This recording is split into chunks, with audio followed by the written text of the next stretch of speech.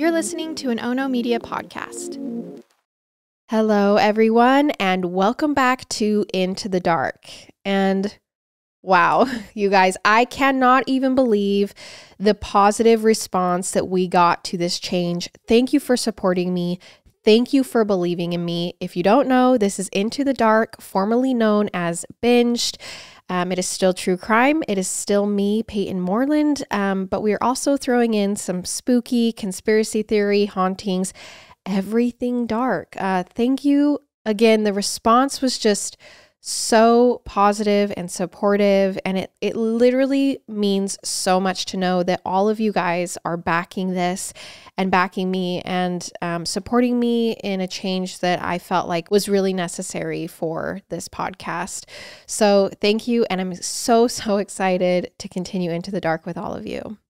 Now, again, over on my main show, Murder with My Husband, which is a true crime show with my husband, Garrett, he has a thing at the beginning called Garrett's 10 Seconds where he can talk about anything and everything before we jump into the true crime. And when I started binged, everyone wanted me to have my 10 seconds. And so now with this change of Into the Dark, I've decided to implement it. And it's actually so fun and it's something I'm very excited about. So let's get into my third 10 seconds. I first wanted to start off by saying Thank you for all of the messages and the support and just the loving and kind words that I received from my previous 10 seconds. It's hard to be vulnerable on the internet, but there's so much that I've learned and benefited from that I feel like that it's necessary to share with all of you things that I have gone through, especially when it comes to mental health. But the messages I received were so, so, so kind. And so just know we are all in this together. Like, there is a huge group of people who are going through very similar things to what you're going through. We are feeling very similar things, and we are all in this together. But for this 10 seconds, I'm going to kind of stray away from the heavier stuff and just give you two things that I started last year and I'm taking with me into 2024, things that I am keeping with me that are super beneficial and that I think you should all consider. So, the first one is yoga. Whether you do that at home, whether you go to a class, you can literally look it up on YouTube, just find a space on your floor. Yoga is a great way to push through physical hardship in that moment and then show yourself that you can do that at any time. I go to hot yoga, and if I can sit there in a 115 degree room holding a wall sit for three minutes and I can turn my mind off and get through that, then I can get through anything. And it's just such a great way to work the muscle that is your mind and um, just prove to yourself that, you know, you can really live in the moment. Um, and then the second thing is journaling. I've talked a little bit about this on my Instagram, but I have a written journal and I have a bullet journal. My bullet journal is kind of a little bit more structured. I keep track of all my dailies, which are just like my habits and things that I like to do, whether that's like drink water, take medication, um, or move my body, practice mindfulness, like all of the things that I like to do. I also do gratitude. So, something that I'm grateful for, I write down every single day, and then also a highlight of the day. So, just my favorite part of the day. I also just keep a calendar, just a whole bunch of different things. Literally, you can just Google bullet journal or look it up on Pinterest and you'll see what I'm talking about. And then my written journal, I do after I've meditated for the night, and um, I just kind of get into this deep deep state of calmness and then I just write about whatever is going on. I ask my body what it's feeling. I you know, listen to emotions that come up and it looks different every day. Sometimes I write my prayers, sometimes I um write what I did that day. Sometimes I just write things that have been coming up emotionally, but it's just a great way to spend that time on yourself and I just do it at a time that I would typically be scrolling or watching Netflix. So I just kind of block out that time. And instead of doing that, I do my journaling and my meditating. And um, it's just a great habit that I started last year and I'm definitely keeping with me into 2024. And if you have any questions about that, let me know and we can talk about it more. But enough of that 10 minutes. Let's get into today's episode. Okay, so if you know me at all, then you know I've always been fascinated with the mysteries life has to offer. Like, What happens to us after we die? Are we the only intelligent beings in the universe? Is it possible to transcend space and time? It's these sort of questions that keep me lying awake at night, thinking there's gotta be more to this world than meets the eye. Because there's no denying, there's still a lot that science can't explain.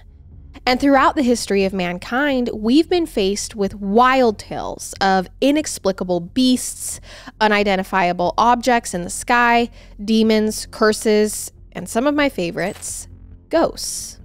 The best part is, many of those accounts don't come from elaborate novelists or grand storytellers. They come from average people like you and me. People who were living seemingly ordinary lives until they had an experience that changed everything. Which is why I thought I would start with today's story about a wealthy New England woman who, for all intents and purposes, was living a fairly ordinary life until she lost nearly everyone she loved from what she was told was an unbreakable curse leading to rumors that ghosts and demons were trapped inside her home, making it one of the most haunted houses in America today, maybe even the entire world. This is the story of Sarah Winchester. So it's 1839. We're in New Haven, Connecticut. Author Charles Dickens fawned over the small New England town, saying it was one of the nation's most beautiful cities. A kind of compromise between town and country, he called it, as if each had met the other halfway and shaken hands upon it. Now, with a 17 acre green at its center and three beautiful churches for the townspeople to congregate, New Haven was the place to be in 1839 if you wanted out of the growing metropolis of New York City but still had future plans for success which was exactly why Leonard Pardee and his wife Sarah chose New Haven to raise their growing family. And in 1839, they welcomed their fifth child, a daughter who they also named Sarah. Her full name was Sarah Lockwood Pardee. As Sarah reached her adolescence, she proved herself to be a bit of a loner and therefore an independent thinker. While her parents encouraged her to focus on her studies, Sarah took more of an interest in what her father was doing. As the daughter of a successful carpenter and craftsman, Sarah spent hours watching her father from the corner of his workshop as he sawed and sanded pieces used in contemporary architecture doors, blinds, molding, piano pedals, even grave markers. The intricacies of the designs always fascinated Sarah, who, as a woman during that time, likely wasn't encouraged to try out the craft for herself.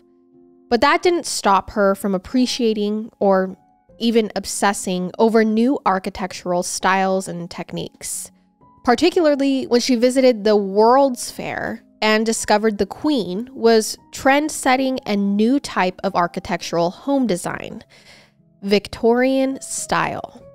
Once the people of New England caught on to the trend, Victorian homes began sprouting up all over the landscape. Suddenly, Leonard Pardee was receiving an influx of orders for spindles, wainscoting, and other features of the design, which greatly increased the family's wealth and their prominence in New Haven society. So much so that the Pardees were actually able to purchase a home in a more affluent New Haven neighborhood. And they moved across the street from another businessman and his young family, a shirt factory owner named Oliver Winchester. The Winchesters and the Pardees became fast friends, with their children around the same ages. Even after the Pardees moved to a larger house in 1852, the two families actually stayed close and they saw each other at church almost weekly. Now, over the years, Sarah would feel the gaze of their son, William Winchester, from the pews behind her. But it would be a few more years until anything came of this little crush. For now, William was climbing the ranks of his father's shirt company, and with the recent advent of the sewing machine, business was booming. So much so that the profits allowed the family to invest in other businesses, like the arms industry. The Winchesters bought out a failing gun company and their patents. And from there, they created a new kind of weapon a repeating rifle. For the first time, a gun could shoot 30 shots in under a minute rather than being loaded for each fire, which was good timing because the nation was on the brink of an unprecedented conflict. Tensions between the North and South were brewing, and war seemed inevitable. Firmly on the side of the North, the Winchesters began peddling their repeating rifle to Union officials, but many were hesitant to rely on the new design.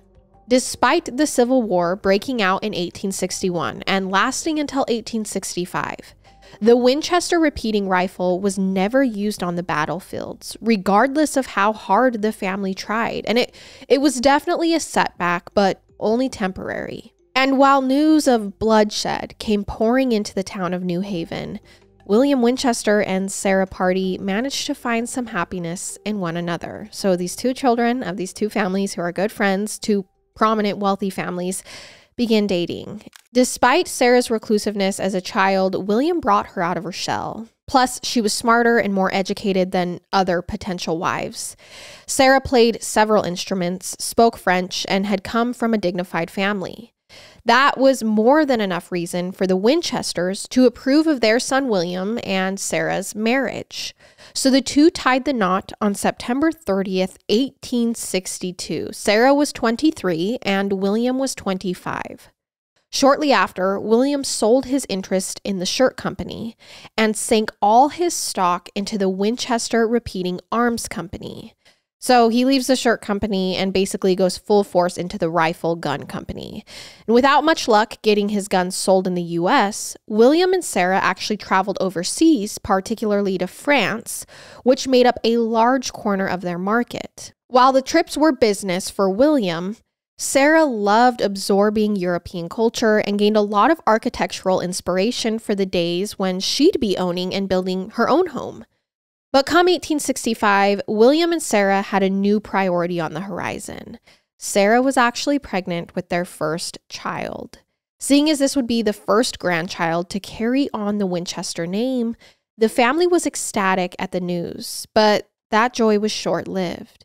On June 15, 1866, Sarah went into a long and painful labor, eventually giving birth to a baby girl the couple named Annie after William's sister, who had recently passed. But the name might have carried a curse of its own because infant Annie was having trouble eating and digesting.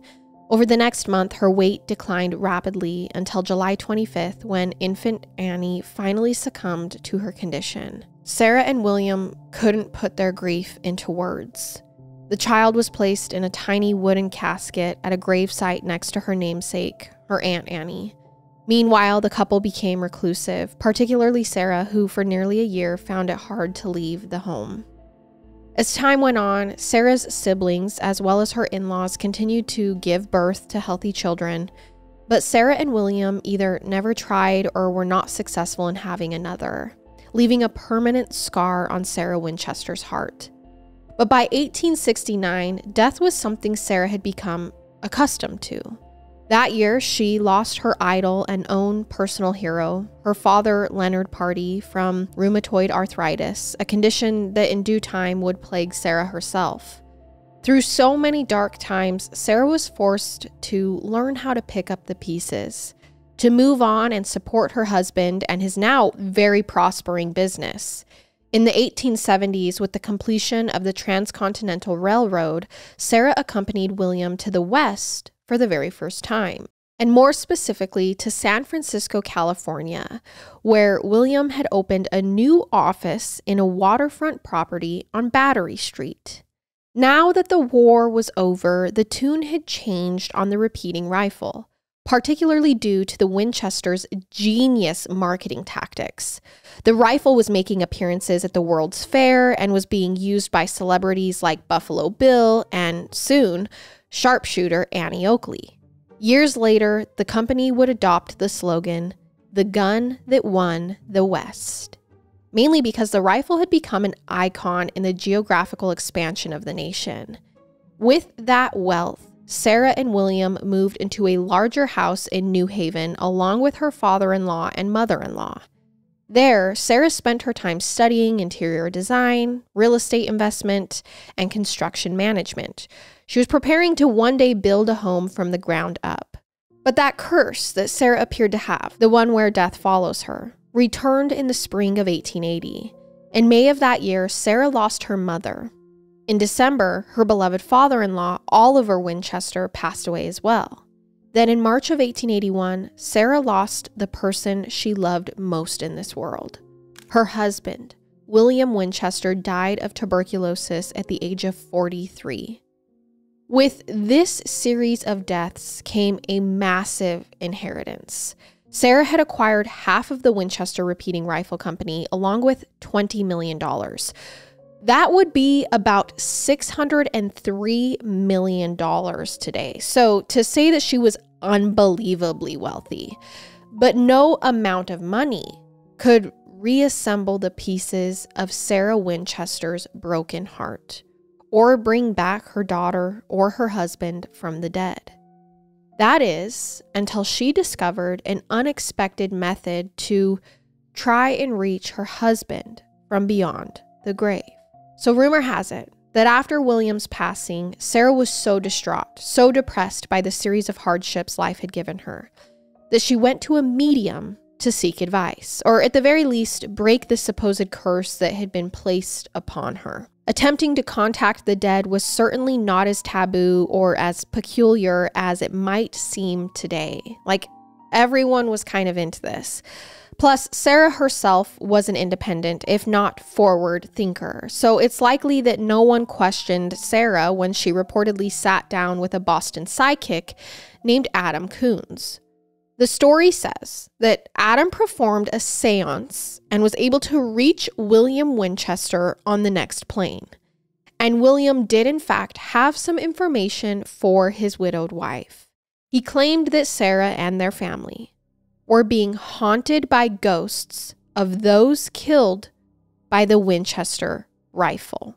So, anyone killed at the hands of her husband's gun company was now haunting her. It was karma at work.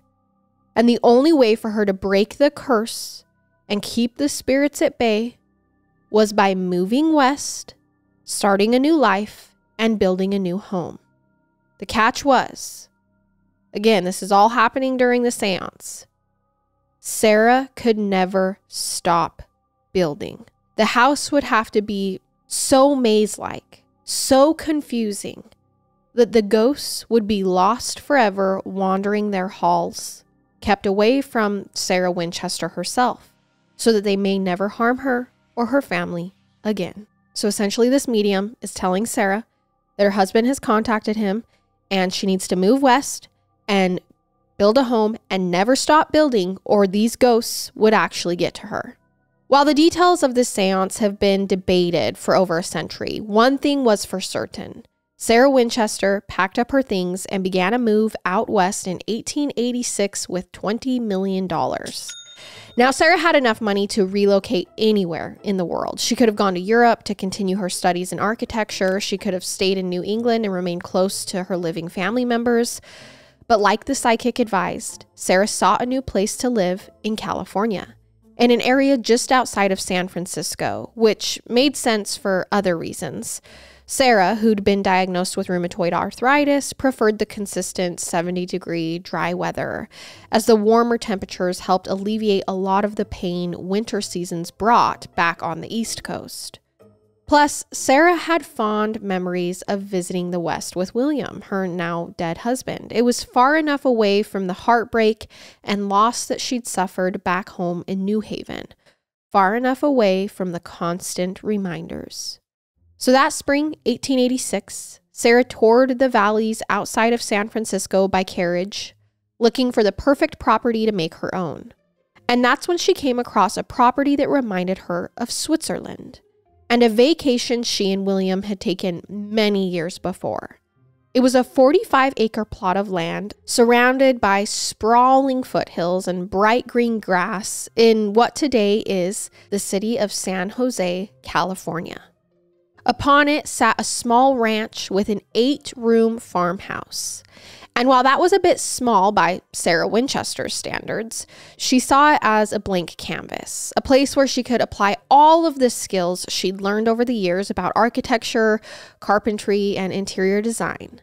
Finally, Sarah would get to execute the project she'd always dreamed of, while at the same time heeding her late husband's advice and keeping any dangerous spirits at bay. Sarah purchased the property for about $12,000. That would be about $388,000 today. She even convinced two of her sisters, Belle and Estelle, as well as their husbands and children, to come out west and settle down with her. Then Sarah got to work on the property she'd come to call the Llanada Villa. According to many sources, Sarah never made any official blueprints for her design.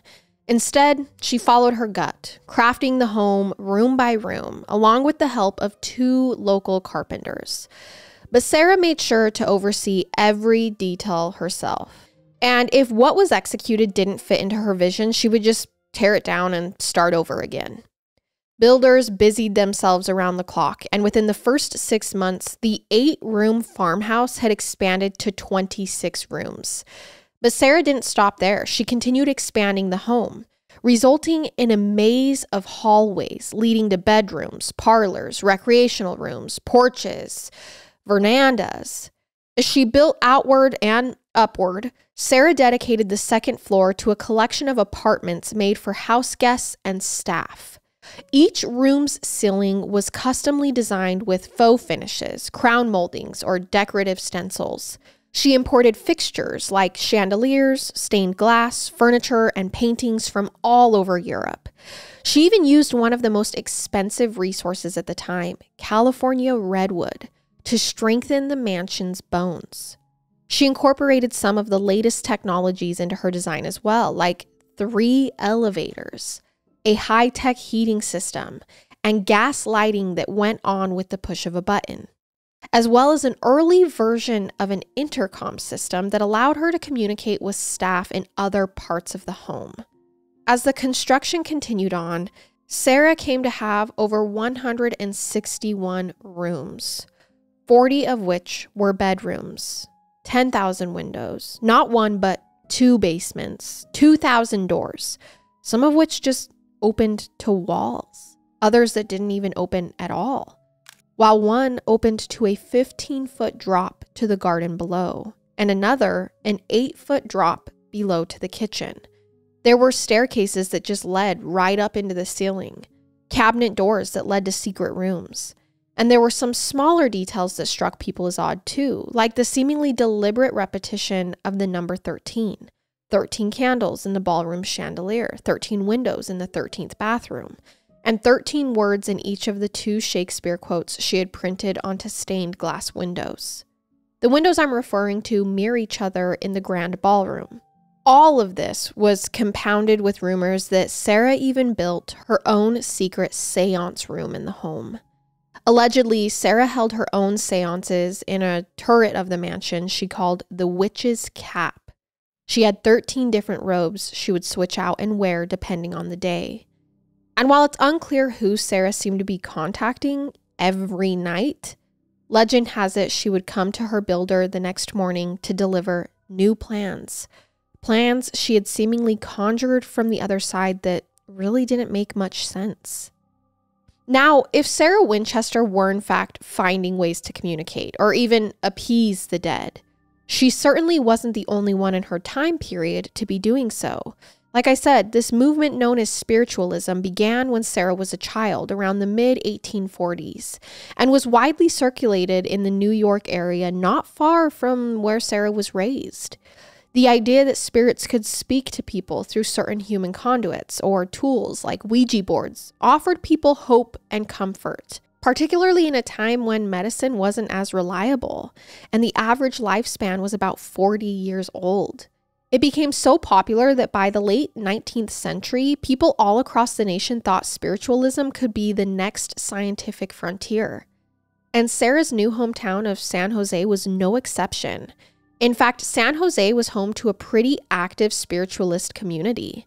Not far from Sarah's home, a group called the Orders of the Angels of the Light would meet under the guidance of a medium named Nancy Roberts.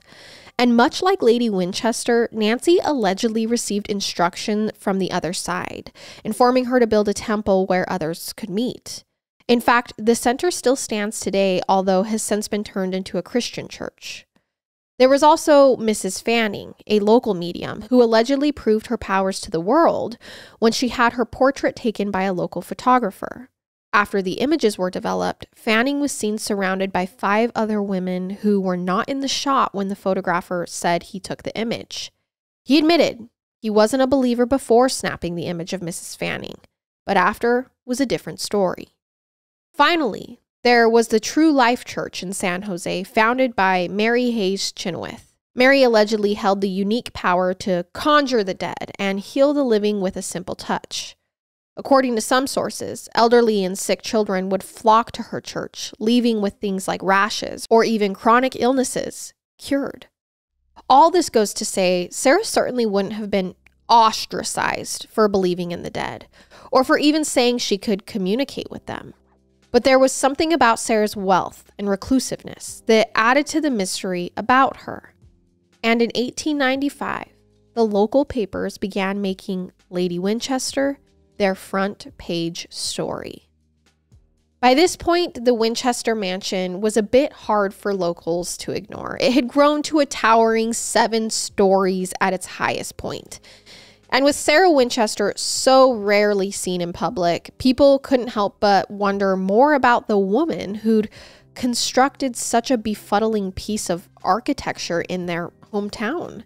Many called Sarah Winchester a snob for not participating in society as was expected of her. Others picked up on rumors of a deadly curse and perpetual hauntings that seemingly kept Sarah at work and out of the limelight.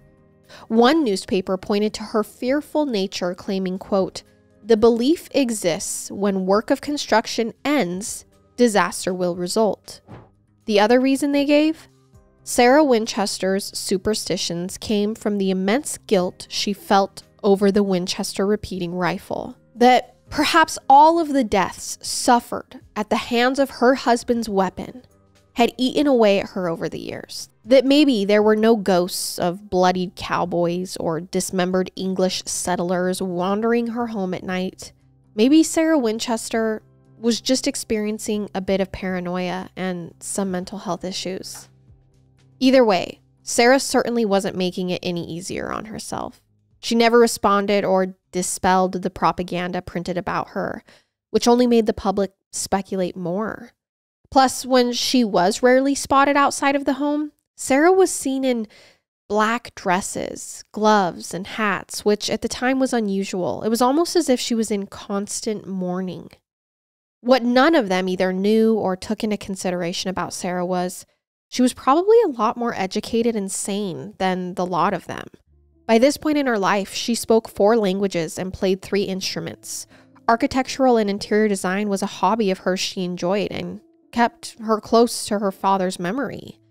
Plus, Sarah's rheumatoid arthritis was getting increasingly worse. Her hands were becoming misshapen and she was losing her teeth, which likely caused Sarah to feel a bit insecure about her appearance, preferring to stay inside where she felt safe. If you asked most of Sarah Winchester's staff, they could tell you the snobbish old crow stories were for the birds.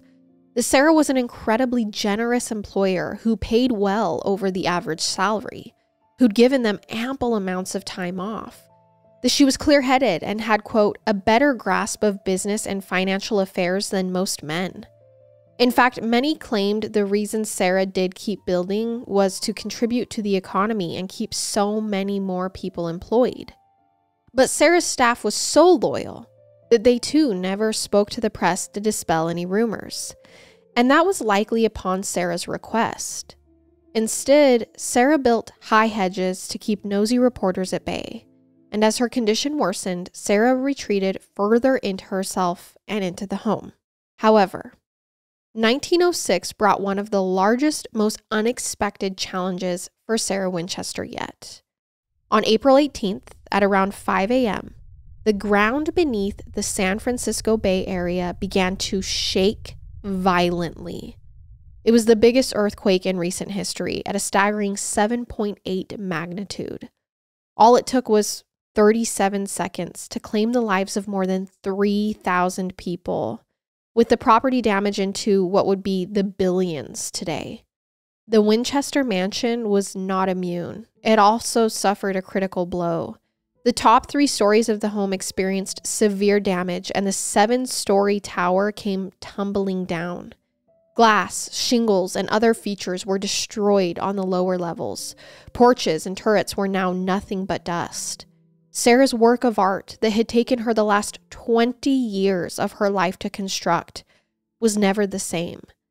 But some say that when the earthquake hit, Sarah was worried about more important things like getting out alive. If you were to tour the Winchester home today, which I've done, guides will tell you that the 67 year old Sarah was actually trapped in one of the rooms from fallen debris and that she needed to be rescued, dug out by her staff after the shaking was over.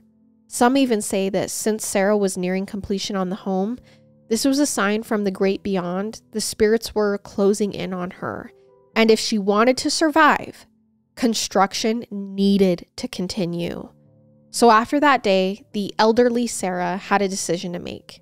Did she just give in, finally throw in the towel, and wait for fate to take hold? Or did she pick up the pieces and put them back together again? Well, spirits or not, Sarah decided she wasn't going to let her years of hard work go to waste. She began clearing away damaged parts of the home, leading to more doors that opened to nowhere.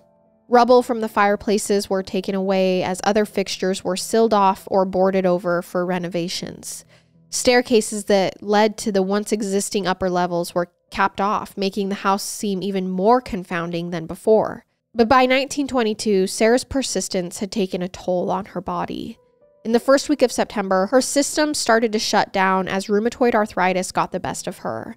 And on September 5th, with a doctor by her side, the 83 year old Sarah took her final breaths in the comfort of her own bed.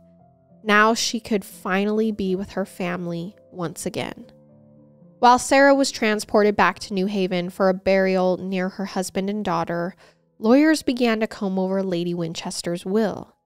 While plenty of her fortune went to surviving nieces and nephews, Sarah also left behind a significant amount to the staff that had taken care of her over the years. In addition, she made generous donations to hospitals in both San Jose and New Haven. When all was said and done, Sarah had reportedly spent over $5 million, about $167 million today, on building that home. But when it came time to sell the now historical landmark, Sarah's attorneys had a hard time getting any bites, particularly because it had appraised at little to no value as an ordinary family home. I mean, it was such a maze, it didn't really make sense. Finally, in the spring of 1923, a man named John Brown and his wife stepped forward to lease the property. While the house seemed virtually unlivable for the average family, the Browns were anything but. John Brown was a theme park enthusiast and had invented one of the world's first roller coasters. The Browns saw Lady Winchester's home as an amusement park in its own right, a place where they could lure local tourists with the promise of haunts and horrors. Now, under the Browns' supervision, many of the secrets Lady Winchester was harboring in that home were revealed to the public. And on May 20th, 1923, the Winchester Mansion was finally open for tours. Now, the house attracted all walks of life, curious to see if the rumors about Sarah Winchester had been true all along. Had this Lady Winchester actually been building a house to keep evil spirits at bay? Even the famed magician and escape artist Harry Houdini stopped by for a visit in 1924. Houdini at the time had an interest in debunking the tricks and hoaxes of others. In fact, he'd been touring the country, lecturing at universities on the quackery of the spiritualism movement. And frankly, he felt the ghostly story behind the Winchester Mansion fell into that realm. So when he was invited to tour the house on October 29th, he couldn't turn the offer down. He just had to experience the possibility for himself. Sometime around midnight, he and his escort arrived.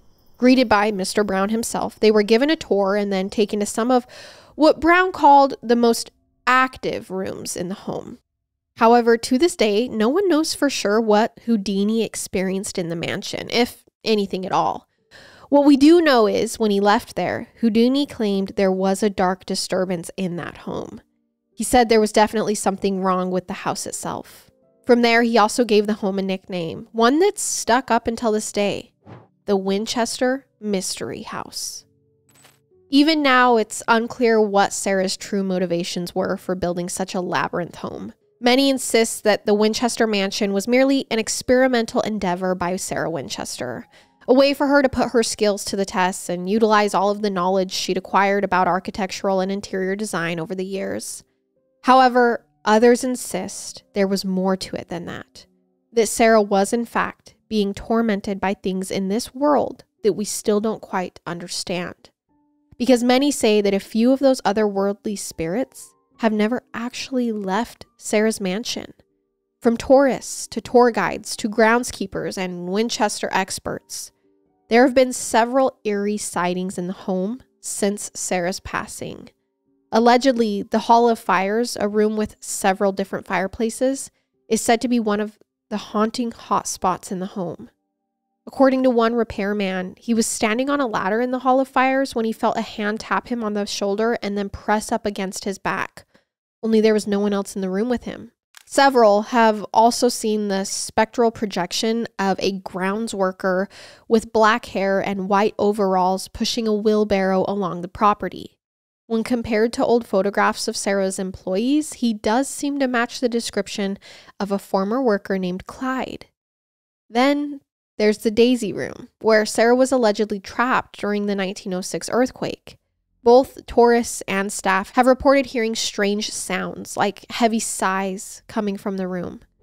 There's also been claims of cameras not working there. One tour guide said that while she was lecturing guests in the Daisy Room, she spotted a dark figure gliding down the hallway.